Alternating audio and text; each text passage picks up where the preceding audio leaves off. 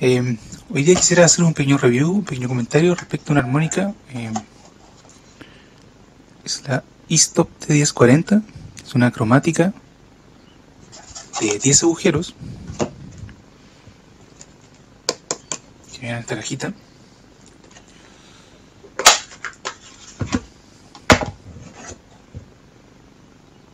Es cromada, es súper linda, eh, es pequeña. Si uno la compara con una armónica diatónica, no es tan grande. Eh, esto me gusta mucho, yo la siento muy cómoda. Esa forma de, de la, del lugar donde uno pone la boca, muy muy cómoda. Ahora, ¿cómo suena? Suena bien, está bien afinada.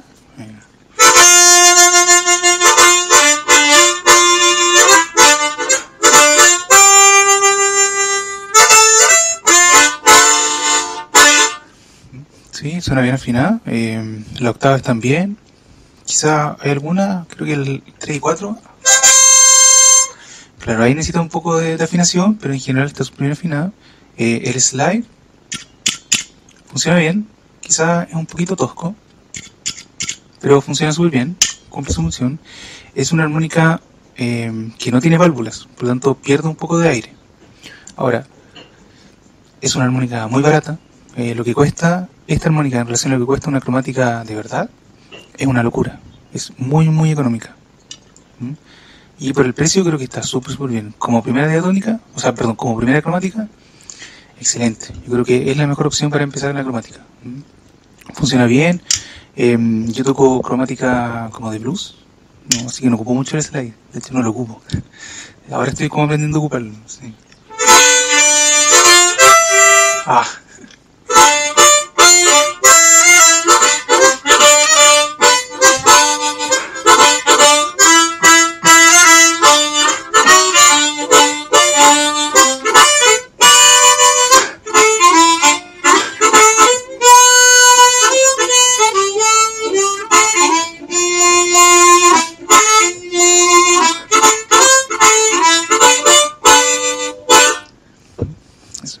Eh, respecto al sonido, me gusta, es, es un poco más brillante que las otras cromáticas que tengo. Por ejemplo, esta. Eh, pero me gusta que sea brillante. Sí, creo que me gusta. Creo que amplificado suena súper bien. Eso, quería comentar sobre esto. Es una gran armónica. Eh, es increíble lo que vale. Es increíble.